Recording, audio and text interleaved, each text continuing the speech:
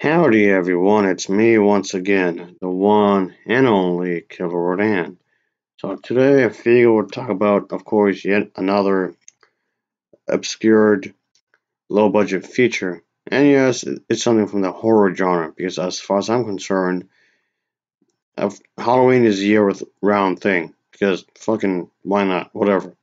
This one's titled The Vampire. Of course, I'm gonna talk about something vampire related. These are my favorite creatures anyway, when you think about it. So that's something.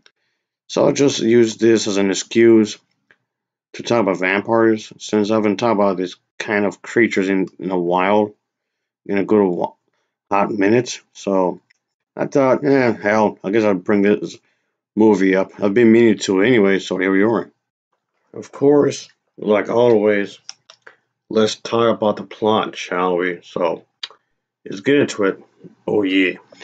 In San Francisco, we get to see this individual, this doctor, whom has pretty much begun experimenting with with vampire bat blood just before his death. And let's just say that things get rather crazy, I guess you can say.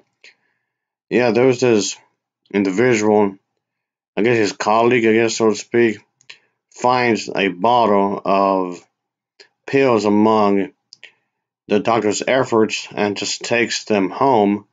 And the daughter pretty much accidentally substitutes the vampire's blood pills for the for her father's migraine tablets. As a result, the kindly doctor starts having these blackouts, so to speak, from the pills, so to speak. So yeah, things get rather crazy. So I'm guessing that this film is trying to have some kind of explanation as to how and why somebody would become a vampire other than the traditional way that oh just get bit and there you go. So okay, I guess it's trying to do its own thing in some ways. And of course this still does make the individual, the person, this guy here, like he's insane. He still comes off like a crazy person. Of course, that's gonna be still there. And henceforth, mayhem comes comes forth. Of course, of course it would. It is a horror story after all, so of course it's gonna be rather strange. Of course it's gonna be weird. Obviously, it happens in these movies. But of course, I would expect it. I would expect that to happen because that's that's it should because it's not going to be like one of these happy-go-lucky type movies anyway, like at all. Not that I expect it wouldn't anyway because it should be weird. It should be bizarre. But anyway, that's the thing though. You have to make sure that the lives of of the other characters will be threatened somehow. I guess there has to be some kind of supernatural thing anyway. a way and I know uh, this I know this movie is trying to explain how this individual well let's just say somebody makes a mistake. Let's put it that way. Somebody makes a mistake and due to this mistake some individual's life this this guy here his life is forever changed because there was there was this thing that happened of course. I mean what geez gotta gotta stop the plot somehow. Got to get things rolling some kind of method, of suppose, because that's how you do it. That's how you're supposed to do that. Because as I mentioned before multiple times, is that if there's no drama, then there's no story. Then if there's no story, then there's no reason for me to give a shit. So this one definitely attempts to have some some kind of crazy plot, I guess you would say. I mean, of course, what matters is how you execute as well. You can have a good story, but bad execution. But thankfully, this one is pretty solid. I do I do recommend it.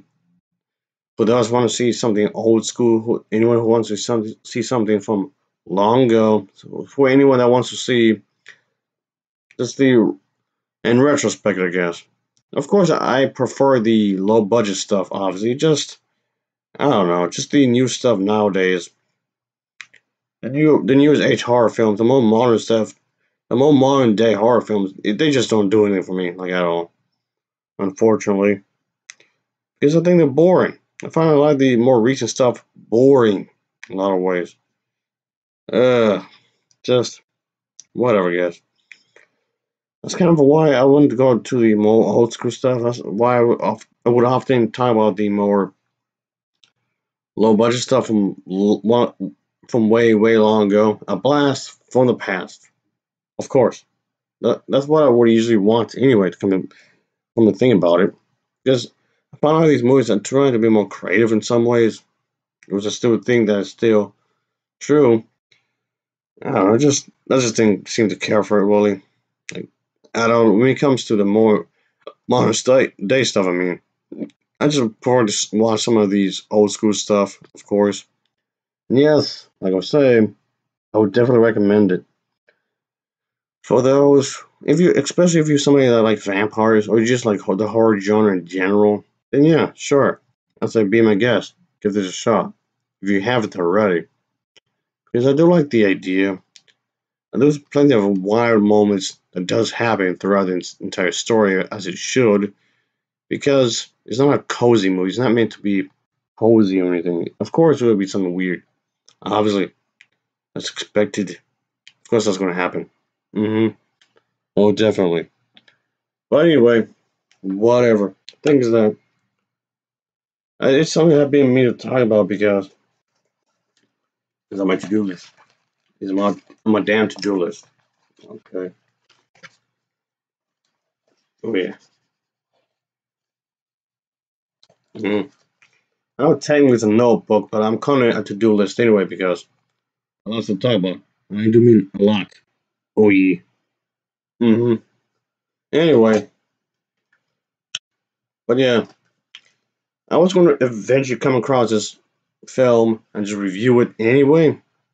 Because I like spooky movies. I like like seeing weird shit happen.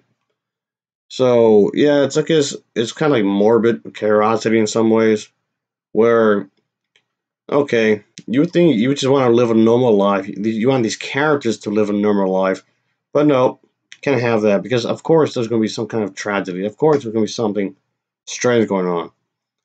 I guess it's morbid in some ways. That's why I keep coming back to the horror genre, at least part of it anyway. But anyhow, I'll give this film an overall rating of a 7.0 out of 10. It's a 7.0 out of 10 for me. So, of course, as always, thank you for watching. And take care. Until next time. See ya. Oh, yeah, later.